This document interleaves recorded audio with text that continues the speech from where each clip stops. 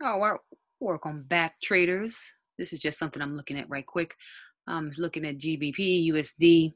As you notice, I'm looking at a clear chart right here. Um, no indicators, no support resistance, no trend lines or anything of that nature. But again, as I always say, once you see it, you'll be unable to not see it. So I'm looking at a clear indication of a bat pattern here. We have our X to A, our B is at 50%.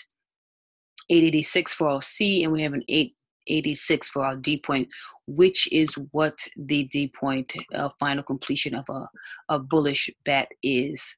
Um, we always want to use a second level of confluence, so we need another fib factor. So we'll take the A to the B and back up into the A, and we're looking for 1618 and want price to have touched that as well.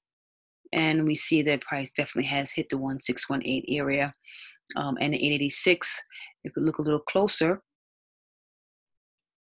we'll see some nice rejection here. We don't really see any um, bulls that have come in at the moment, but we do recognize this nice strong bearish candle whenever you see a candle like that um, most likely you will be getting some type of um, retest a pullback so to speak so with this completion of this bullish bat pattern. We're looking for a minimum of a 382 and a 618, and we have that here. Now just draw a little line here. And here.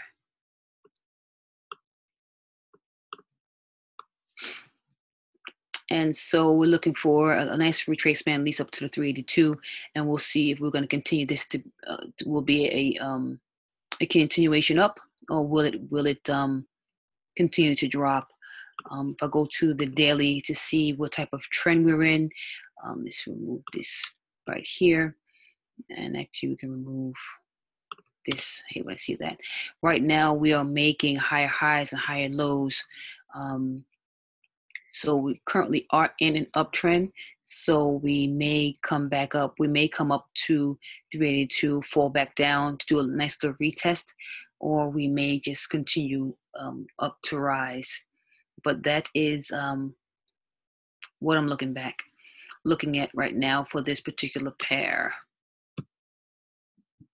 Okay, so let's draw this out again. We have X, A, B, C, D, right, this, this right here, D.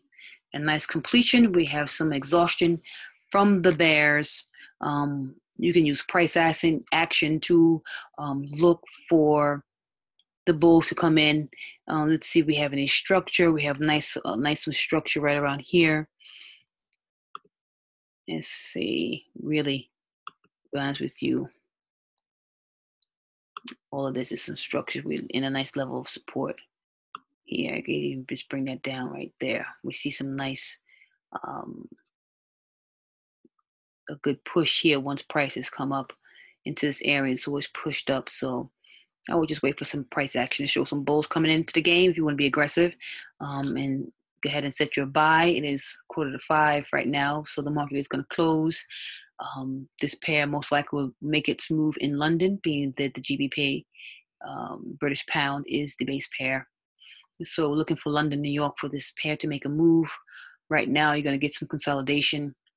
You may get a little bit of movement in the Asian session, session um, but this is something that you can take a trade on if you want to um, come London.